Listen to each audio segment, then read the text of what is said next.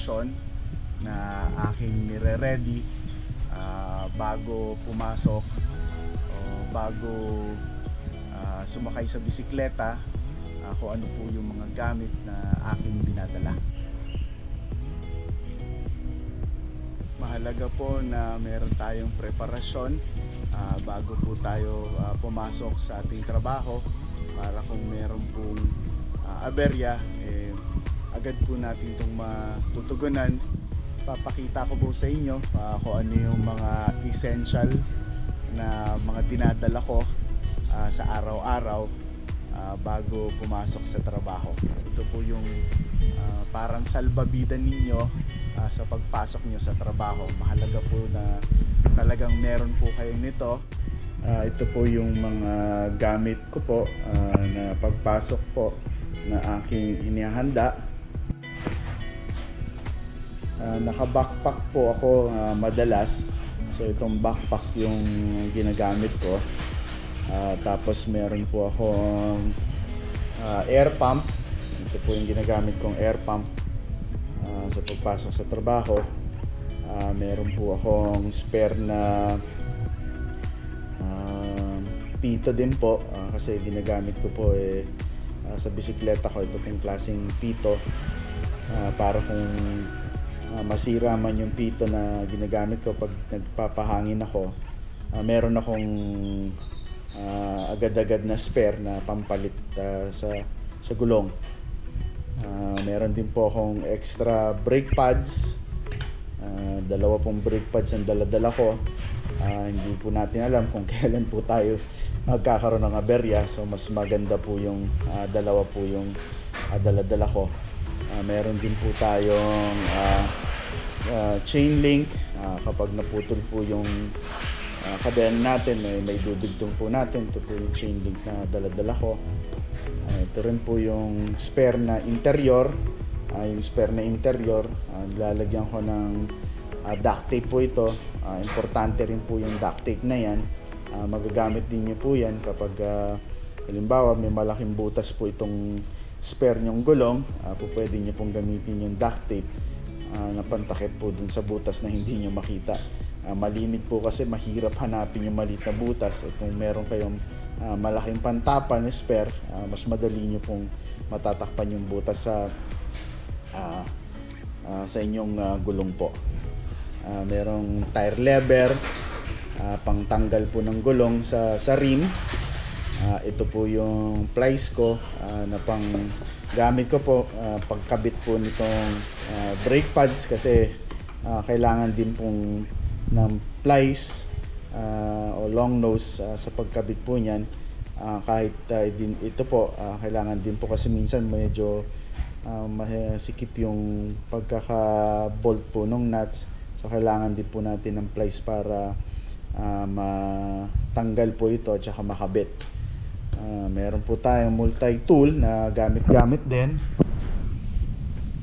Itong multi-tool po na gamit ko. ah, nabili ko po ito ah, sa murang halaga lang. So napakadami na naming experience ah, nitong multi-tool na to.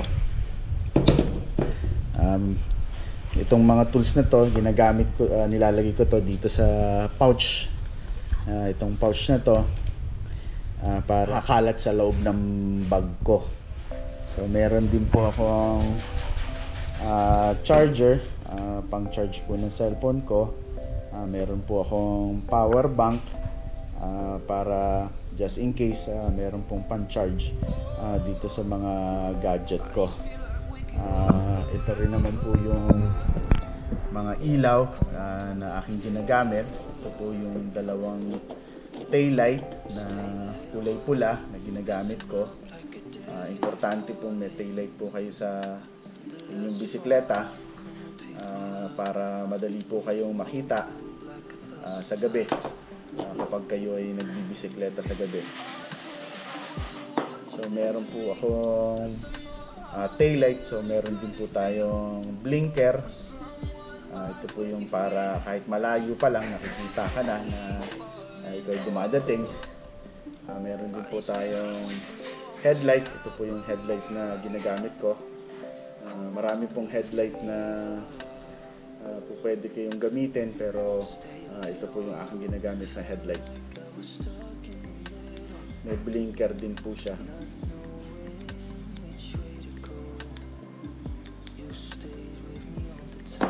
So dalawa po yung ginagamit kong headlight. Ah, importante po rin na dalawa yung headlight nyo kasi minsan nakakalimutan ko i-charge yung isang ah, headlight.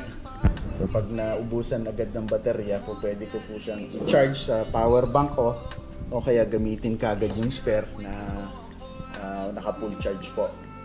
Ah, meron din po akong gamit-gamit na ah, zip tie na dinadala Ah, kasi po ah, hindi niyo po ah, alam kung kailan niyo rin po kakailanganin ito pero madalas ginagamit to kung sakasakali ah diyan po sa mga sa pedal ah, sa sprocket din po o kaya sa chainring ah, ginagamit po siya kung sakasakaling nawalan po kayo ng ah, ng tornilyo so ito po eh, eh nakaka-secure ng mahigpit at hindi po gagalaw yung bagay na gusto nyo i-secure.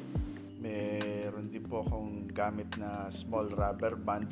Ah, mahalaga po na may dala din po kayo nito. Ah, kagaya po ng zip tie, ah, magagamit din niyo po itong small rubber band para kung may gusto po kayong i-secure sa bisikleta. Ah, meron po din akong daladalang ah, bottle water, ah, mga 500 ml po siguro tong laman ah, na tubig na to. Ang importanteng meron po kayong ah, daladalang tubig araw-araw ah, tuwing papasok po kayo at uuwi. Tatandaan nyo po na lagi pong ah, puno ito ah, ng tubig ah, para ah, hindi po kayo madidehydrate kasi ah, pagpapawisan po talaga kayo ng sobra-sobra ah, pag nagbisikleta po kayo. Ah, meron din po akong baong hydrate. Ah, kung minsan po kasi ah, excessive yung sweating natin. Ah, pag excessive yung sweating natin, tsaka medyo malayo-layo po yung biyahe natin. Ah, araw-araw po, ang one way ko is ah, 25, almost 25 kilometers. So kung mainit po yung araw, ah, mas maganda po na meron po kayong hydrate ah, para maihalo nyo sa tubig at ah, hindi po kayo magkakaroon ng dehydration ah, para ma-replenish po yung ah, electrolytes kagad sa ah, katawan po ninyo. Ah, meron din importante rin po na meron po kayong ah, sunglasses o shades po ah, para maproteksyonan po yung ah, inyong mata. Ah, kasi pag ah, araw po ah, talaga o kaya tanghali po eh napakainit po sa sa kalsada. So importante po na meron po kayong itong shades. Ah, nakakatulong po siya sa inyo na hindi po kayo masyadong mainitan kapag kasi nakikita niyo yung kalsada na sobrang init ah, nakakapagbigay din siya ng epekto sa inyong pakiramdam dahil nakikita po ng inyong ah, sarili na napakainit so lalong nag adapt yung katawan ninyo na sobrang init So nakakatulong ito at nababawasan din yung pakiramdam na sobrang init ah, kapag suot niyo po yung shades. Ah, meron din po akong helmet, ah, importante po may gamit kayong helmet. Ito po yung isa sa helmet na ah, ginagamit ko. Ah, napaka-importante po dito dahil maraming beses na po akong bumaliktad sa kalsada at ah, tumama po yung ulo ko talaga sa sa espalto o sa simento at kung wala po itong helmet na to eh siguradong may kalalagyan na po ako. importante po yan na may helmet po kayong dala-dala. Ah, ito din naman po, ah, meron po akong ah, dalawang lock na ginagamit. So ito po, yung ko yung dalawang gulong ah, sa bisikleta. At ito naman po, ah, sinisecure ko yung bisikleta mismo doon sa ah, poste ah, o kaya bike rack na aking pag-iiwanan ng bisikleta. So, ah, ito po yung mga importanteng gamit na dapat po ni- nilalagay ko na kagad sa ah, sa aking bisikleta o sa aking bag ah, bago ah, umalis ah, sa pagpasok po ah, sa sa opisina. Ah, ngayong ngayong new normal, importante din po siguro na magdala na rin po kayo nitong ah, face mask Ah, dahil ah, ah, para maproteksyonan niyo po yung sarili niyo ah, na hindi po kayo makakahawa o mahahawa po kayo sa sakit. Ah, importante rin po na meron po kayong dalang ah, pamunas ng pawis po ninyo Ah, kasi ah, talaga sabi ko nga sa inyo ah, kanina um, talagang pagpapawisan po kayo talaga ng sobra-sobra. So importante po na meron po kayong dalang ah, pamunas po ng pawis po ninyo.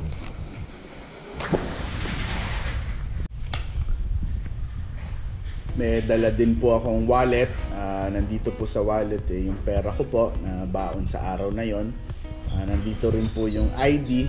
Ah, kung sakasakali pong ah, may emergency, ah, agad po nila makikita kung ano yung pangalan mo, at kung saan ka nagtatrabaho, kung sino po yung kukontakin ah, nila ah, kapag may nangyari po sa inyo. So napaka-importante po na ah, lagi nyo rin po itong dala ah, bago papasok po kayo sa aking likuran ngayon, ah, yan po yung ah, bike ko na ginagamit sa bike to work. Ito pong bisikleta na ito, ah, isa pong mountain bike. Ah, isa po siyang 26er. So ibig sabihin po ng 26er, ah, yung gulong po niya ay radius po nito is 26. So yung bilog po niya is 26. So ang gamit ko pong gulong is ah, Maxis Crossmark Ah, 26 naka 2.25 po yung lapad niyan. Ayan. So malapad po sa dalas kasi yung mga mountain mga ginagamit pang bike to work eh maninipis lang yung gulong. Ah, ayoko po ng manipis na gulong. Ah, kasi una sa lahat ah, kailangan mo pang balansehin. Doble ang balanse mo kaysa sa makapal na ah, na gulong yung gamit-gamit mo din po akong ah, carrier sa likod ng bisikleta. Uh, diyan ko po minsan ah, nilalagay yung mga gamit na nabanggit ko kanina ah, sa, sa carrier ko. Uh, frame ko eh medium ah, to small o small to medium Ah, kasi ang height ko po eh ah, 5556 po. Ah, so ito po yung tamang tama na ah, size frame ah, para sa akin po. Importante din po yung size frame kasi kung hindi po ah, medyo masakit po sa likod Ah, kung malaki yung frame kasi uh, yuyupo po kayo ng ah, malayo ah, simula sa upuan hanggang manibela. Ah, Epicon po siya na shock absorber sa harapan. Na air shocks po yan. Tapos naka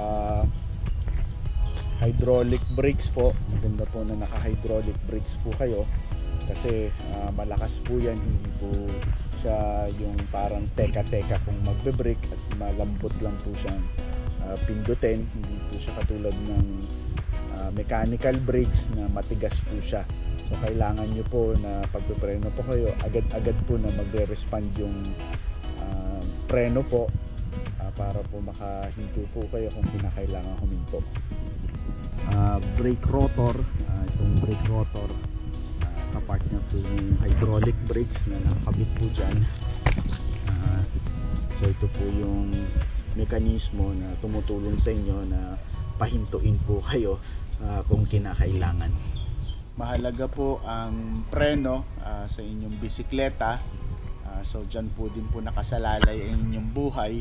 So kung kinakailangan yung huminto agad ah, ito po ay ah, hihinto po agad. So, kung maganda po yung brake set po ninyo, ah, ito po ay makakatulong po sa inyo ah, ng malaki.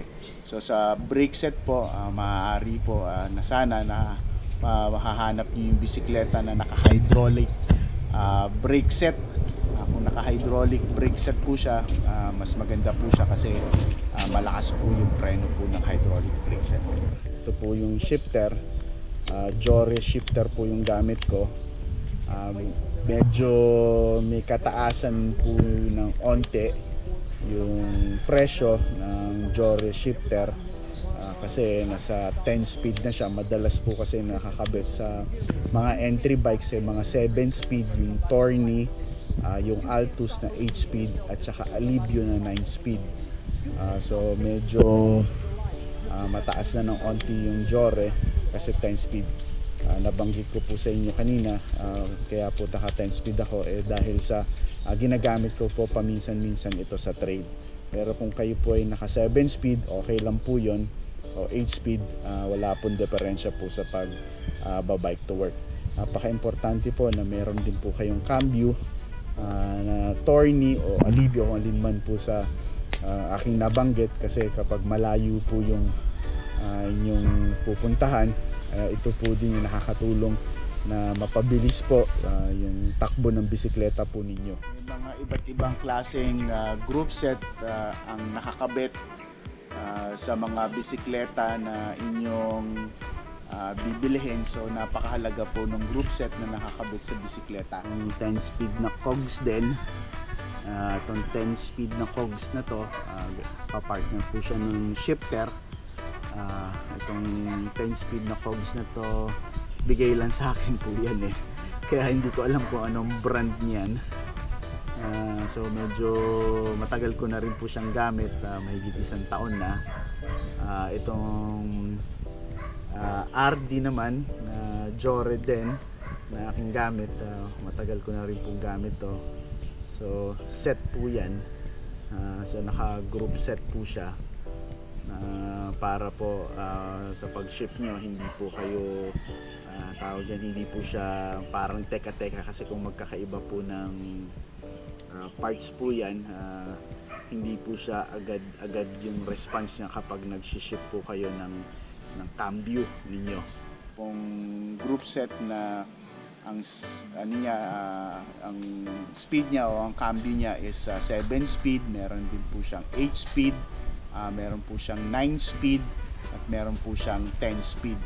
So itong ah, speed na binabanggit ko, so ito po yung shifting capability po ah, ng inyong bisikleta. Ah, mas maraming shifting capability po yung inyong bisikleta, eh, mas nakakalito po sa inyong mga ah, bago pa lang pong nagbibisikleta. Pero malaki po ang ah, maitutulong po nitong ah, mga shifting capability po ng inyong bisikleta. Ah, kasi po ah, mapapabilis po nito ang, ang pagtakbo ng inyong bisikleta. So makakarating po kayo ng ah, mas mabilis ah, sa ah, oras ninyo.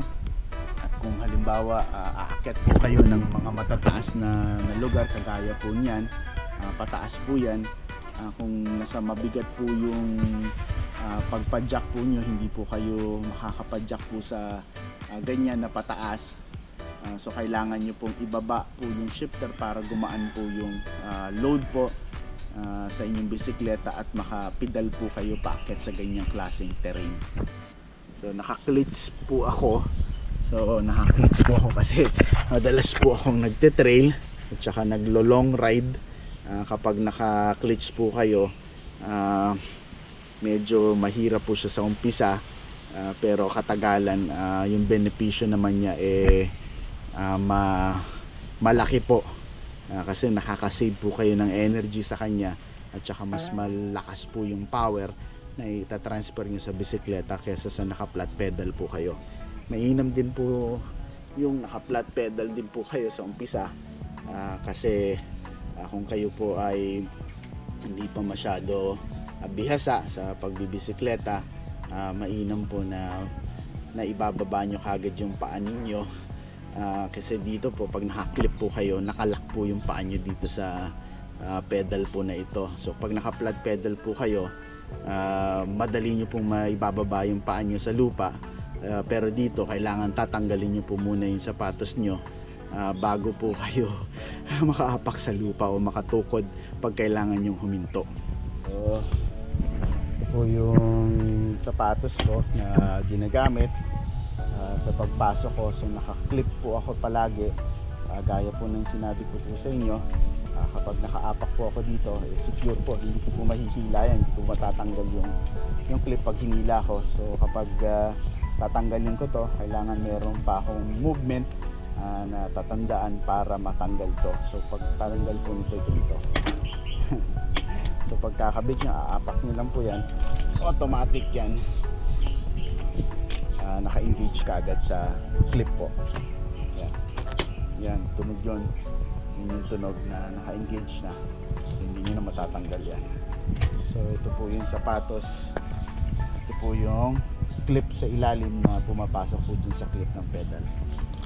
Naipakita ko na po sa inyo ah, kung ano po yung ah, preparasyon ko bago pumasok. Ah, naipakita ko rin po sa inyo ah, kung anong klaseng bisikleta po na ah, ginagamit ko sa aking pagpasok po. Ah, ngayon po, ah, bago pa lang po kayong ah, magba-bike to work, ah, alam ko na isa po sa mahirap po sa inyo ay yung ah, pagpili po ng tamang bis, ah, tamang bisikleta.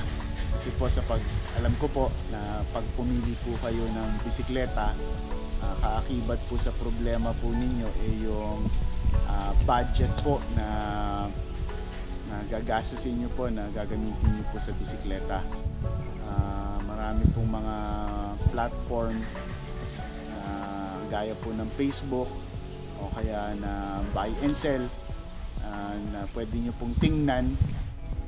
Ah, mahalaga din po na yung presyo ng bisikleta nyo po ay, ay malapit dun sa budget po na binibili po ninyo.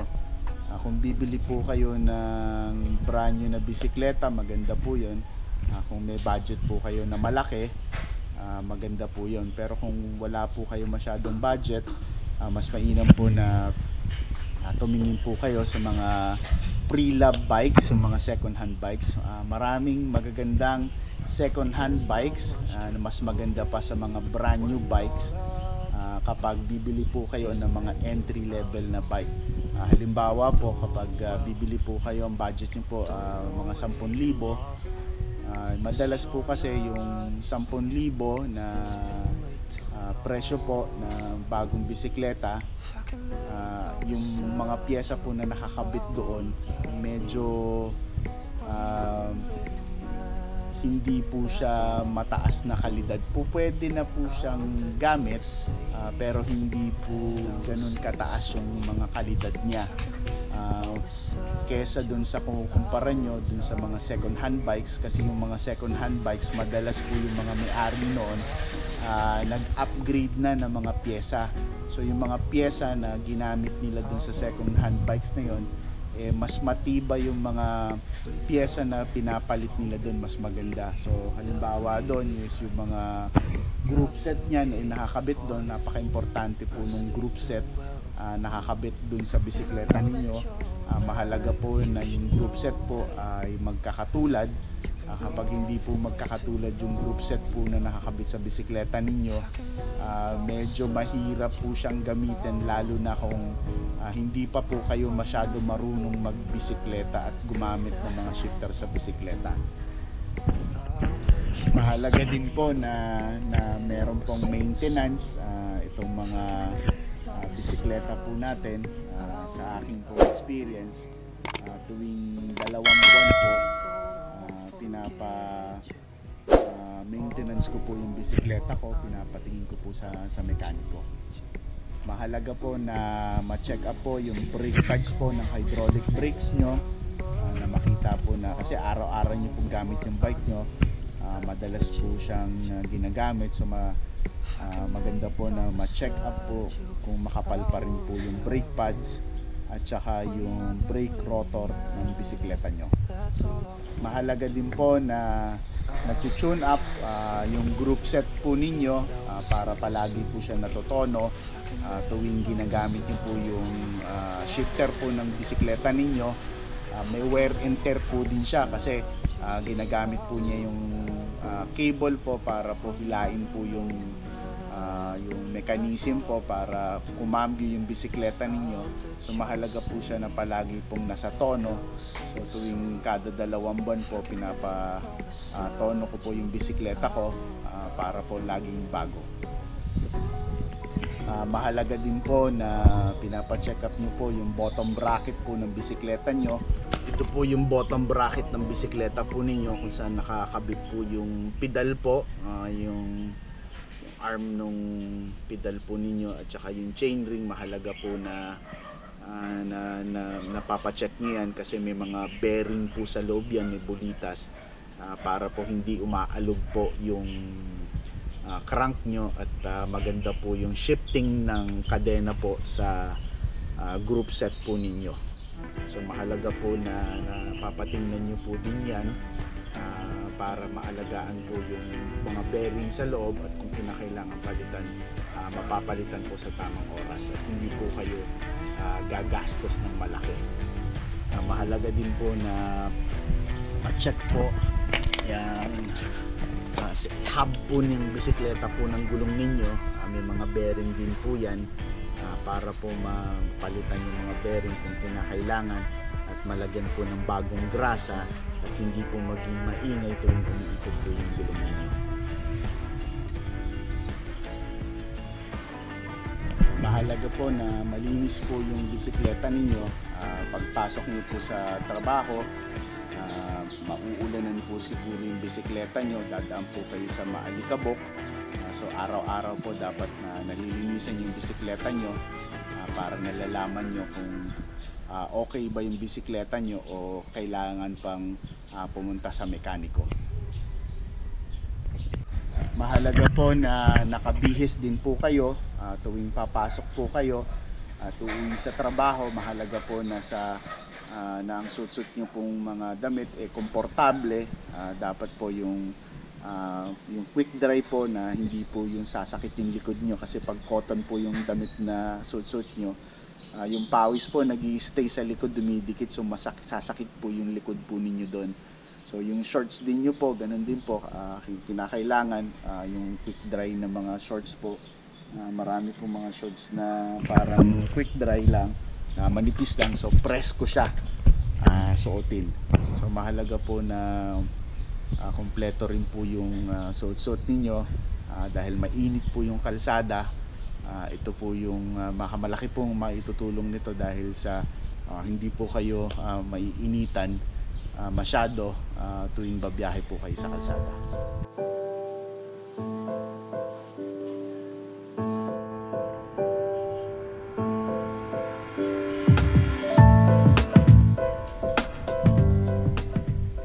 Masaya po ang ah, mag-bike to work ah, dahil ah, binibigyan po kayo ng ah, maraming benepisyo, ah, malakas na katawan, ah, ano din po yung ah, yung pagkatao po, marami po kayong parang ah,